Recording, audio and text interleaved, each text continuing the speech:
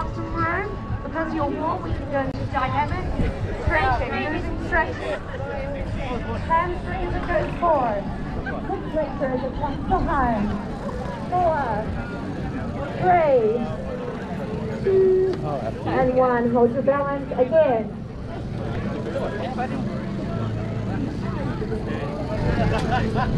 Nice. Four, three, and one. Standing time.